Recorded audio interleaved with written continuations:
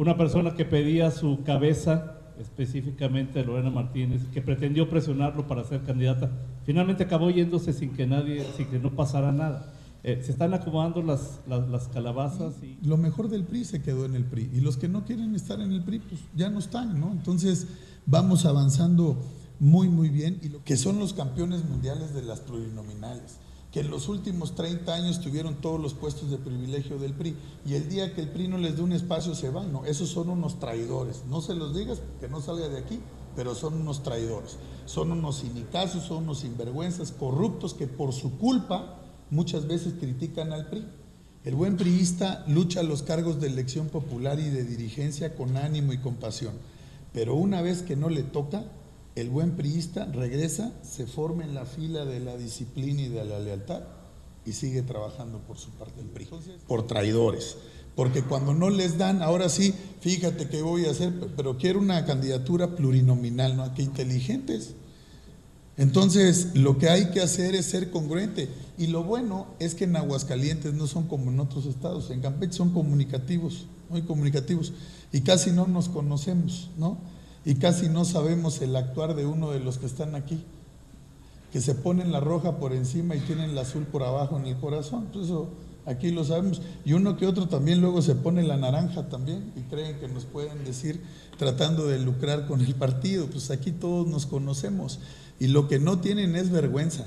Y lo que sí te podemos compartir es que lo mejor del PRI se quedó en el PRI Aquí están los priistas. Yo estoy muy orgulloso de los priistas, de los que estamos aquí, porque en las buenas, en las malas, en las duras y en las más duras, aquí están. Cuando hemos gobernado Aguascalientes, hemos gobernado bien. Quedó acreditado que lo que hicieron en su momento y lo que querían hacer con el dirigente nacional del PRI y con el PRI, calumniarlo, difamarlo, pretenderlo doblar, por menos del 1% de lo que me hicieron a mí, otro, no se hubiera ido del PRI, se hubiera ido de México. Y yo me quedé aquí a enfrentar al poder, a enfrentar al gobierno, porque al poder, al autoritario, al dictador se le enfrenta, se le pone uno de frente. ¿Tú crees que si yo tuviera algo de que hicieron estaría yo aquí platicando con ustedes? A los priistas ni nos doblan ni nos echan para atrás. Nos sobra carácter a los que estamos aquí para defender a México y eso es lo que tenemos que hacer. El 2 de junio nos jugamos el presente y el futuro de México. Y lo que están haciendo con las afores, amigas y amigos, es robarse el dinero de los mexicanos. Así, robarse el dinero de los mexicanos. Porque hay mexicanas y mexicanos que trabajaron un tiempo, y un ejemplo, están de hermanos migrantes, pues ese recurso es de ellos.